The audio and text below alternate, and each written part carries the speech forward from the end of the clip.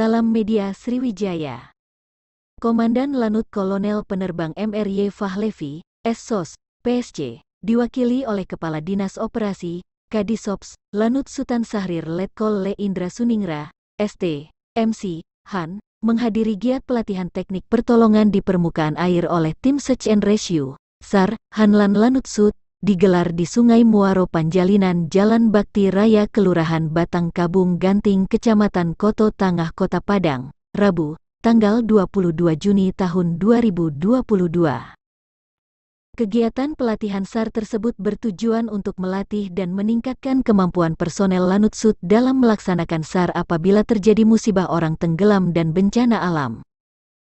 Komandan Satuan Pertahanan Pangkalan, dan Sathanlan, Lanut Sultan Sarir Mayor Kesuharno mengatakan bahwa potensi kerawanan musibah hampir sama di setiap provinsi, sehingga menjadi atensi bagi kita serta menjadi tujuan utama ketika terjadi musibah di sungai atau laut, Diperlukan kecepatan dan respon tim SAR Lanutsut, jelasnya.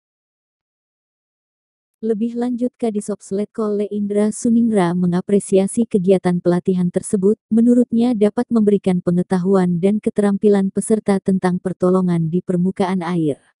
Sehingga potensi pencarian dan pertolongan dapat membantu Basarnas daerah dalam pelaksanaan operasi pencarian dan pertolongan secara cepat, tepat, aman, terpadu dan terkoordinasi. Di kesempatan itu juga perwira seksi operasi Satuan Pertahanan Pangkalan Pasiop Satan, Lanut Sultan Sarir Kapten Le Yunardi mengatakan, latihan SAR ini merupakan pelaksanaan program kerja 6 semester 1 tahun ajaran 2022.